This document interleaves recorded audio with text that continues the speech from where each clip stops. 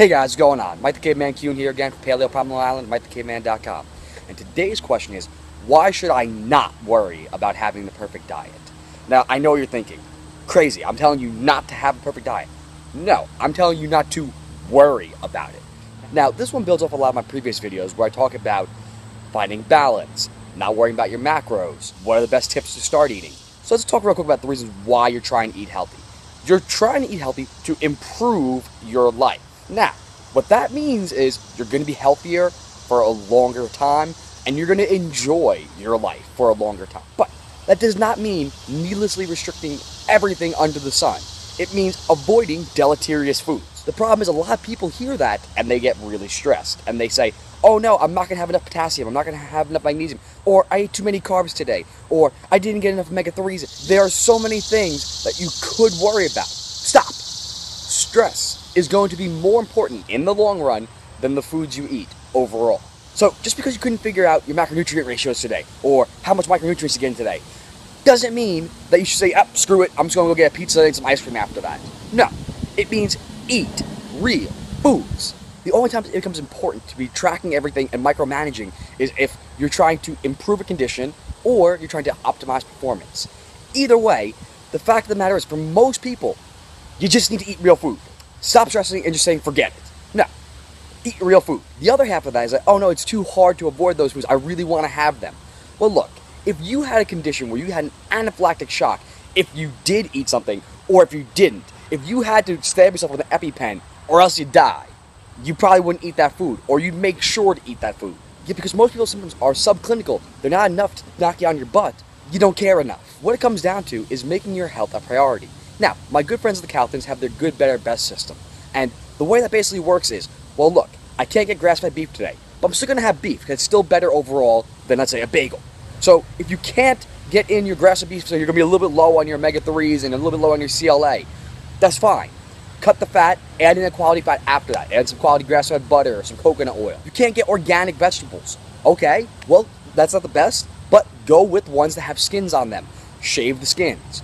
So make the best choices you can. It doesn't have to be perfect though.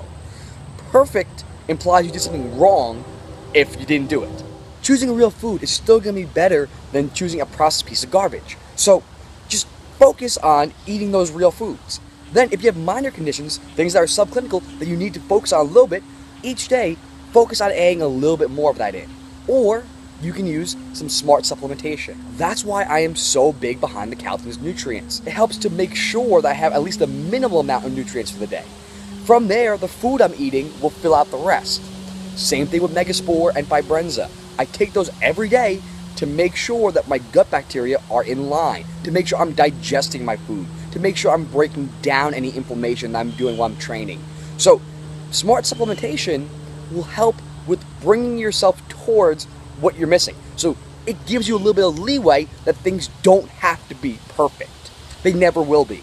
Now, the caveat to that is if you do have a condition, you have to focus on it more. If you have diabetes, you gotta cut the sugar. If you have PKU, you gotta avoid protein.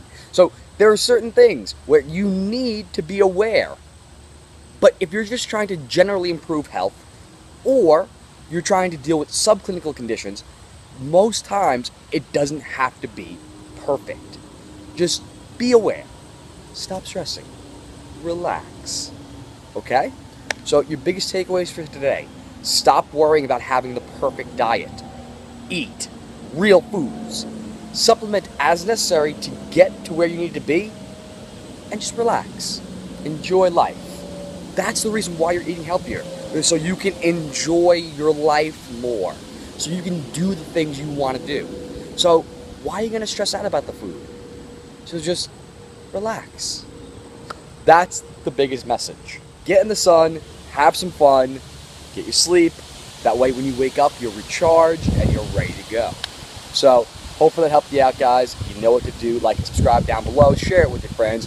Head over to Instagram and Twitter and follow me at Mike the Caveman over on Facebook at Paleo Palm Island and of course over on MikeTheCaveman.com. That being said, enjoy your day, make your better choices, if not the best, and I'll see you tomorrow.